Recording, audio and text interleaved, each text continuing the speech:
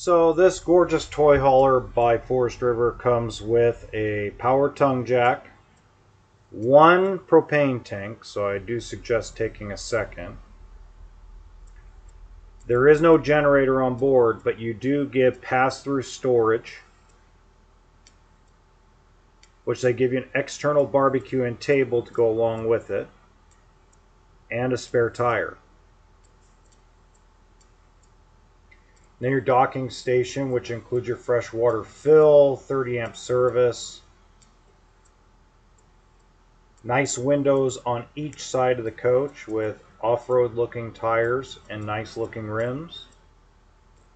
A foldable ladder to climb on the roof. And of course you have your ramp door, lightweight to put up and down with rear lights on the back. You get a power awning with LED lights in the front, two camping windows on the camping side with a bedroom window as well. The propane quick connect for that barbecue that actually goes on the outside. There's a table that slides against that rail on that side of the unit. Solid step walking in like Peter Pan shadow into the gorgeous toy hauler. It's a neutral interior, so it doesn't feel too dark nor too light. 15,000 BTU air conditioner, TV, and they get benches on every side. Now, since it's a shorter toy hauler, it does not have the HappiJac system. Instead, it has a bench and a couch. So a small little couch on the driver's side and then a full-on bench on the passenger side. Propane electric refrigerator.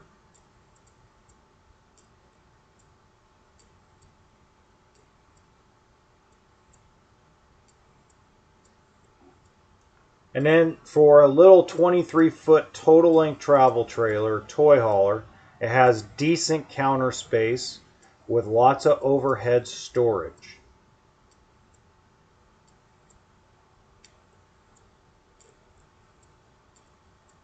And this storage also goes into the bedroom and into the cargo area. One piece sink And then we have a glass stove top. If you put on pause, I'll be all the features. Two burner stove.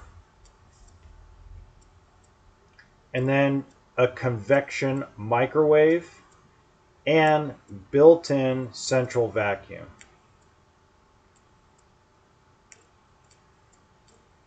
Again, more storage underneath where you have access also to your plumbing for the kitchen.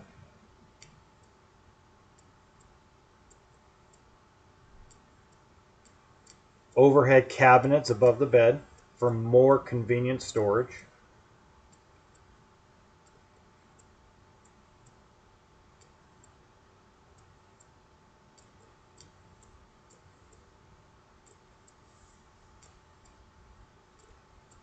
You can get a portable generator for this coach. You just need a 4,000 watt to run the air conditioner.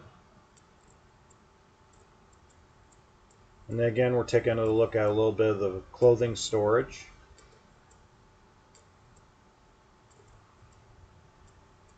Queen size bed.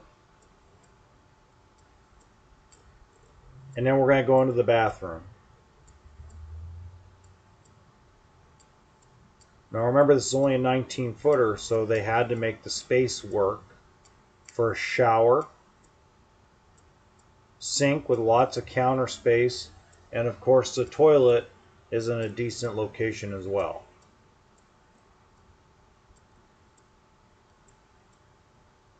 If you enjoyed this video, please give us a thumbs up. And, of course, don't forget to subscribe to the channel